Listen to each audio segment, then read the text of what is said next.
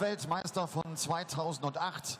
Ein Mann, der mal in den Top 10 bei der PDC stand, der ist aktuell die Nummer 23 der Welt und er kommt aus Wales. Die Rede ist von The Spider, Mark Webster.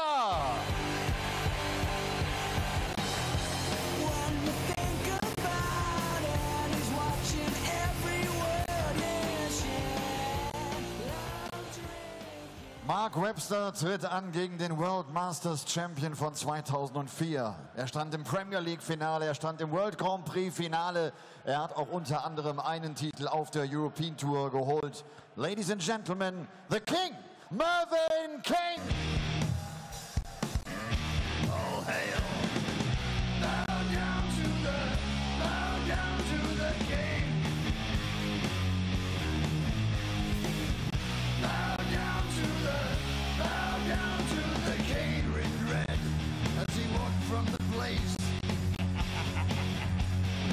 Traitor lost both his name and his face. Through the halls and the corridors, stinking in blood. Well, you may not see a better performance than that from Steve West this entire weekend at the Happy Bet German Darts Championship. I certainly cannot remember a better display on the opening day of one of these European Tour events. An average of nearly 110 Steve West, who is back in the running, or back in the provisional spots for the European Championship in Hasselt at the end of the month. Right now on stage, though, two big names in world darts a former world champion in Mark Webster, a former major champion in the BDO, a multiple major champion in the BDO in Mervyn King, and a former winner on the European Tour, of course, in The King. He will be in Hasselt in Belgium at the end of the month at the European Championship. Mark Webster, however, he's got a lot of work to do. He's probably going to have to make the final here this weekend if he's going to be there, and that is something that Webby has not managed to do before. However, we know he has got quality. Dan Dawson in the commentary box for this one, along with another man who has quality.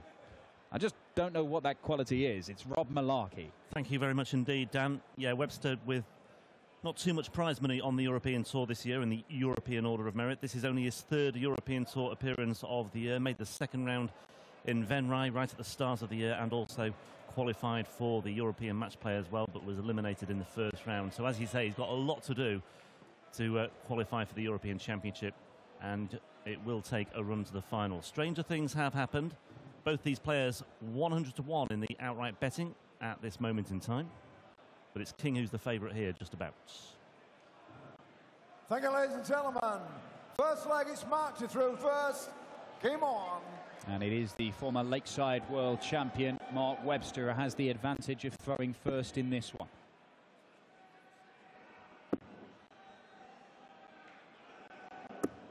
Forty-one.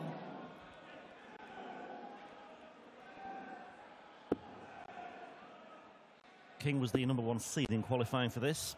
Came through fairly comfortably, 6 1 against Mick Todd, but then went the distance with William O'Connor. But um, as Dan said, assured of his place in Hasselt. Thanks in large to a run to the semis in Venray. Mm, yeah. That really was the platform for his uh, qualifying campaign. Hasn't quite hit those same heights in the meantime since then in Europe. Well, really, in general, Mervyn King. He had a very good run at the match play, so he played some really good darts. He was only beaten by a, a really determined performance in the quarterfinals from the, well, 15 time match play champion Phil Taylor. 16, yeah, 16 14 that in the end as well. So close. It was very close. There was one one check out of 124, I think, from Phil Taylor to break Mervyn right towards the end of that match, and that, that was the key moment. It was superb from the power, but he was great all week. But that's not bad from Merv. Not bad at all.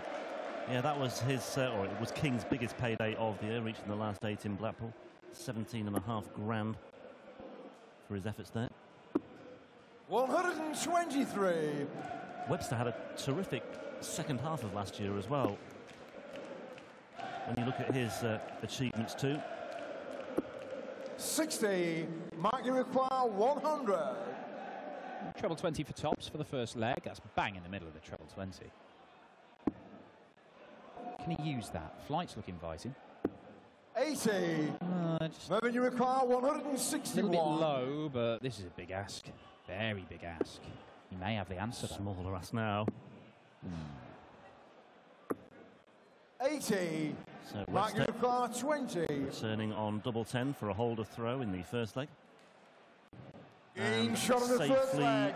Negotiated. Webster. Leg is Mervyn to throw These first. left-handers love a on. 10. Love it. Yeah, made the semi-finals at the World Grand Prix last year, did uh, Mark Webster. Followed that up with a run to the last eight in the Grand Slam and a run to the last 16 at Ali Pali as well. So he raked in a few quid towards the end of the year. Yeah, big, big time of the year that for Mark Webster. He'd obviously had all these technical problems with his throw. It's, we all know it's dartitis. 140. Did a lot of work rebuilding his throw, weighting his back foot down. He has that sort of lean forward when he throws the dart, and we have seen it affect his game a couple of times, notably this year. Once at the match play when he went toe to toe with Adrian Lewis for the first 12 legs and then lost the last four, lost it 10 6 in the end as his throw kind of broke down. But we saw in Dublin in an absolutely 100. baffling game in the Players' Championship event before the Grand Prix. Played Johnny Clayton and he was playing really, really well. And then the throw started to break down. He got so angry, he just threw a dart in 58. into like the skinny bit of the 11. And you thought, well, his head's gone here, he can't win it. But then the very next visit, he threw a 180, managed to win the leg, and the next one won it 6 4, and that was it. Shake of hands, thank you very much. it was just absolutely 57. bizarre. Just needed to get something out of his system, oh, and it worked. it did work. Became a dad last year as well, did Webster. That's another upheaval that he's had to deal with, let alone all the other darting factors that you referred to there. Bringing the Rob Malarkey private life school of advice to this particular. effort? No, I, I can't comment on that. Now then, Maximum. Maximum leads in double 12 for a potential break of Mervyn, you throw. require 107. Unless Mervyn King can rescue the situation here with 107. 82 remaining while he went for the treble 14 to lead tops, but 59. Mike Dakar 24. didn't quite work out for King there. In shot Worked out the there for Webster leg. okay, though. Mark Webster. Break of throw, Third leg is 2 Mark 0. to throw first. Game on. And the marginal outsider leads, and he has a break. Interesting choice of shot there for Mervyn. He's gone the 25. It's 75 in that position leave double 16, which is his favourite double. So that's a bull and a 25. 97. Now, had he hit the ball, I assume that he'd have gone 17 tops. But he might have stayed on the 25. He hit the 25, but instead of going for the ball, because you've got the guide for 100. that dart, he's He gone switched treble 14. Yeah, when for tops. it's, I mean, it's, an, it's just an interesting way of going. I've not seen him do that before. Oh, hang about. Seen Webster do this before. 180. We had eight 180s in the previous game. It only lasted six legs. We've had two already with two and a half legs into this. What a start to the evening we've had at the Happy Bet German Dart Yeah. Championship. Plenty to uh, talk about already so far. Winner of this face is Michael Smith, by the way, the number six seed, I believe, this weekend. Mhm. Yep, and uh, he's here. He's uh, behind the scenes. 60. practicing. I think he's helping Eddie Dootson celebrate his victory, fellow St Helens man, Mm. after he saw off Mike Holtz. Mervyn fills it up for his own. Well, that's four 180s. Mike In fact, Dakar second one for Merv. 164. Webster's hit two. Can he take out the 164? No, he can't.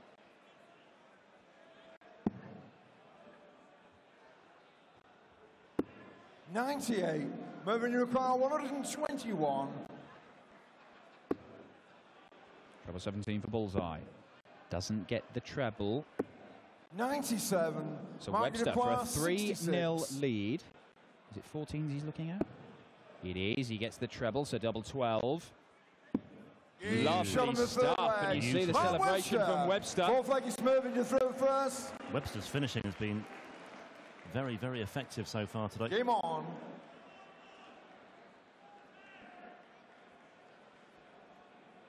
And all of a sudden, Mervyn has lots to do here. 59. Webster with a very healthy average, not quite challenging Steve West just yet, but nudging 105. Oh, it's going up. One under the Well, well, well. 180s in the last three legs for Mark Webster. Mervyn's hit a couple himself. He's raining maximums in Hildesheim.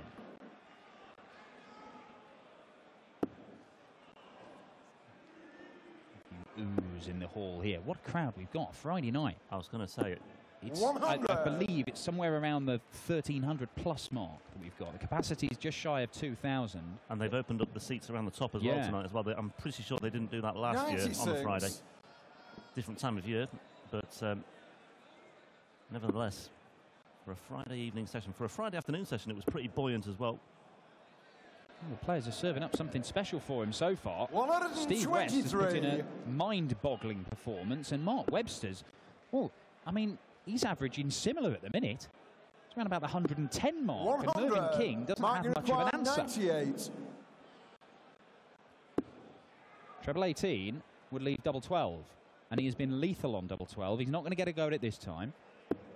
58. So he'll come back and have a look at double top unless Mervyn takes out an absolute monster. Which he might well do. Nah,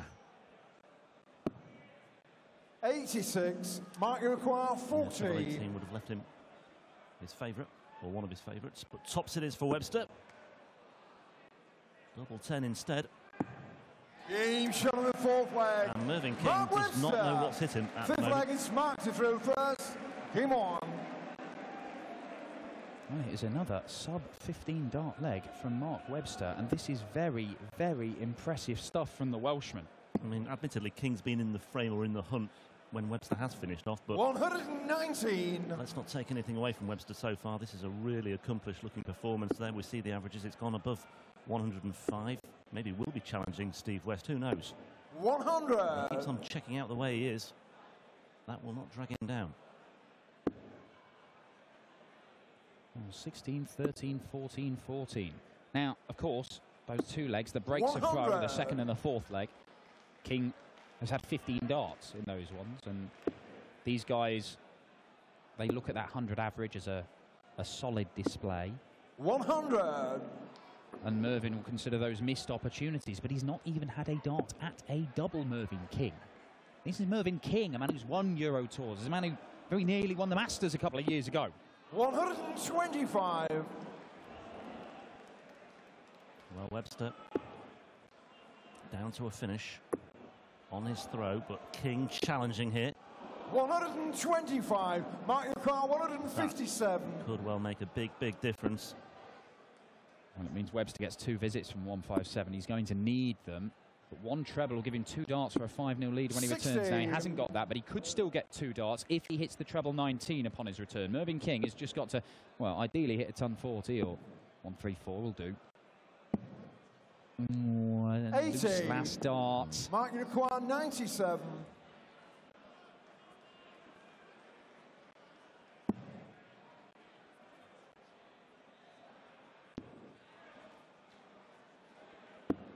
Fifty-seven.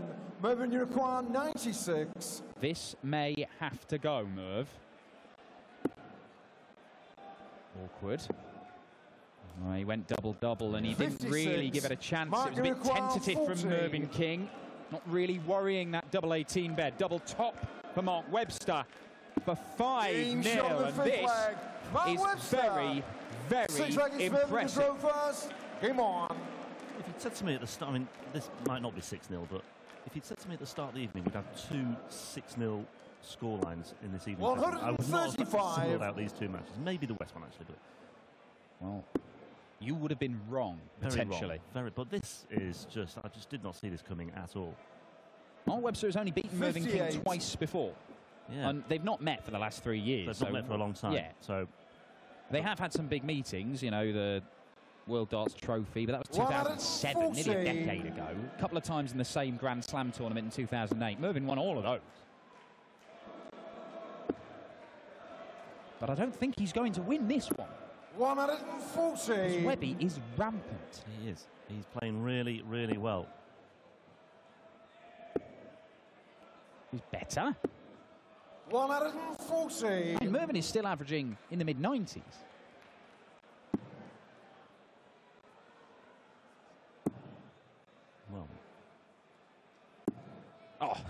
the sevens, Mark Webster. 49, moving require 86. Well, he might be happy to let this leg go.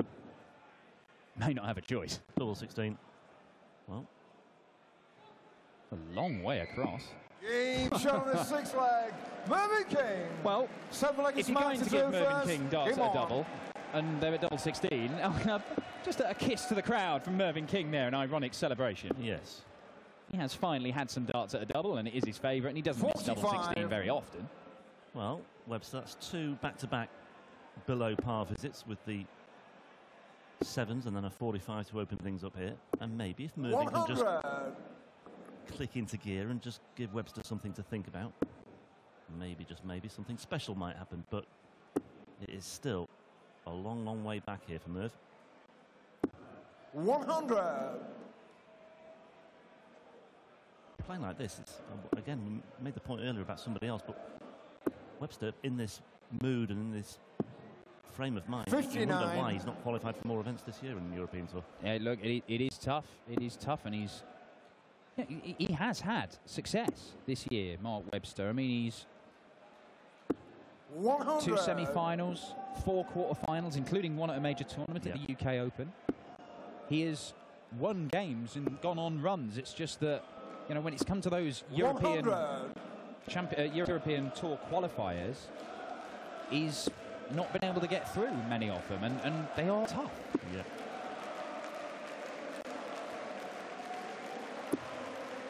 Sixty. Just the 60, and Webby's average is just dipped below the 100 mark now, and it's not panic stations time just yet at all. I mean, he's he could easily win this leg and close out a 6-1 win, and that will certainly help. It certainly will, yeah. It's just gifted Webster the initiative once again in this leg. He could just do with finding a couple of troubles, though, because by and large, he's just lost his way here over the last, what, leg and a bit. 16. He's getting frustrated now. You know, this is a man who was, you know, what, three minutes ago was averaging 105, and now he's just getting a little bit frustrated. 97. Mark your car. Merv is down to a two-darter potentially. Webster is not going to take out the 136. Single 19 now. 96. Leaves himself tops Mervyn for the match unless, 100. unless Mervyn can take out the 100 to stay alive in the German Darts Championship. Tops he wants. Double 10. Gets Game it. shown Mervyn King gets a break of throw. It's 5-2. This isn't quite over yet. First. Game on.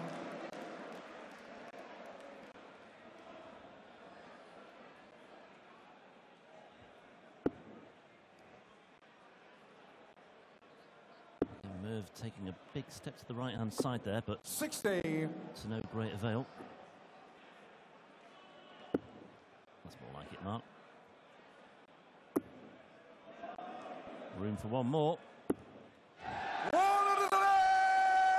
50th 180 of the tournaments. Right back at you. 140. Not quite. Well, Mark Webster, I mean, that is that 180 is his fourth, but if anything, it was the most remarkable because it seemed that his technical issue was more pronounced than at any point in the game. There, he was holding on to the dart a little bit longer than he had been doing earlier on when he was playing very fluent stuff. But it's it's just like that game against Johnny Clayton in Dublin, whereby even though he has this issue which he sometimes struggles against, he is still able to throw phenomenal darts. And there's more here, maybe. Right, it's down to 141 minus that. 105. Yeah, getting below that 1-2-1 mark, so he'll probably come back and look at 419s for a dart at double top to close out a 6-2 win. But 105. Mervyn is going to be there on a Yopar, two-darter himself. Can Webby close it out? He Oh. might well do, you know. Single for double top for 6-2. It's there, Game, and Mark shot, Webster and a match. has been quite superb through the majority of this game. Mervyn King, former Euro Tour winner, knocked out by a comprehensive display of both scoring and finishing from Webster. He hit, well, two-thirds of his darts at double. He will take on Michael Smith, the number six seed in the second round tomorrow. We are two games down, six more to come in the evening session here at the Happy Bet German Darts Championship. And coming up, it's a couple of young guns very exciting young players as Ted Evans returns to the Euro Tour action against Chris Dobey, a man who has really shown what he's about over the last few months. Das war also das Happy Bet Match of the Day.